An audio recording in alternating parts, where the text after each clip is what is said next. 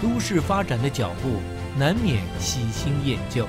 当然，如果偏重经济发展而罔顾周遭的人文环境，那么一个新城镇开发的同时也等于一个老聚落的终结，时间刻画着空间的痕迹，空间展演着时间的累积，竹北，一个多元共处的角落，一个新旧并存的地方。